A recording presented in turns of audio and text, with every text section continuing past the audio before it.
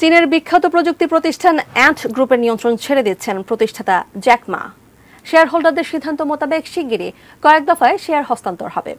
এই হস্তান্তর প্রক্রিয়া শেষ হলে কোম্পানিটির নীতি নির্ধারণী সিদ্ধান্ত নেওয়ার ক্ষেত্রে জ্যাকের মতামত প্রদানের ক্ষমতা থাকবে না। আলিবাবা গ্রুপের আওতাধীন সাঁত্রিশ বিলিয়ন আইপিও সমৃদ্ধ অ্যান্ট গ্রুপের অঙ্গ প্রতিষ্ঠান বিশ্বের সবচেয়ে বড় মোবাইল পেমেন্ট কোম্পানি আলিপে। এছাড়াও অ্যান্ট গ্রুপের আরও বেশ কিছু ব্যবসা প্রতিষ্ঠান রয়েছে।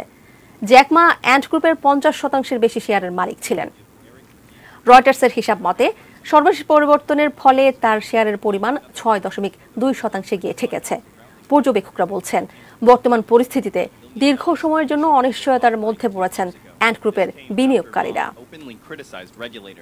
The Chinese fintech giant was later forced to restructure. According to Ant's IPO prospectus,